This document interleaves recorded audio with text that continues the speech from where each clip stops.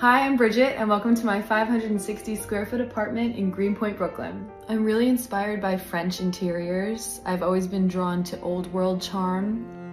I moved in about a year and nine months ago and it took me at least a year before I actually started to feel settled. I really feel like my home is a reflection of the most beautiful parts of my mind. When I feel like I have a connection with a piece, I buy it. I'm constantly going into thrift stores. I'm always on Facebook Marketplace like every single night. This furniture piece that I have in my kitchen, so it's just a piece I bought at a thrift store. I gave it a fresh coat of paint and then while I was getting my countertops done, I had extra marble left over.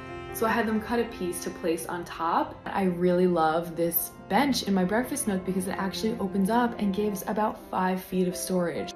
Home to me is a space that feels like an exhale, space that is a reflection of you.